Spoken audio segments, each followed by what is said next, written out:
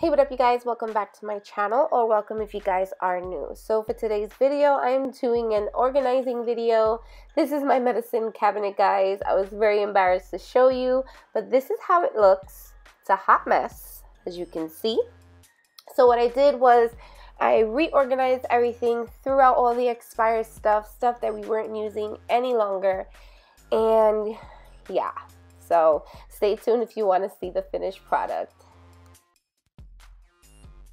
So I moved everything out and as you can see here, I'm just going to wipe down each of the shelves. And um, I had some leftover contact paper. I didn't have enough for each of the shelves, but the one that needed it the most anyway was this one right here anyway, as you can see.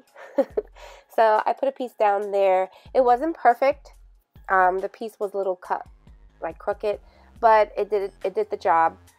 Then I purchased these cool clear containers. They were plastic from this place called Amazing Savings around my neighborhood. They were a dollar each.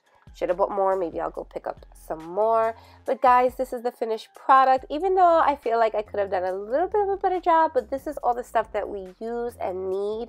So I hope you guys get inspired to get organized. Go to the Dollar Tree, grab a few things. This actually container is a butter dish that I purchased from the Dollar Tree and I put inside my cotton swabs and cotton balls and all that.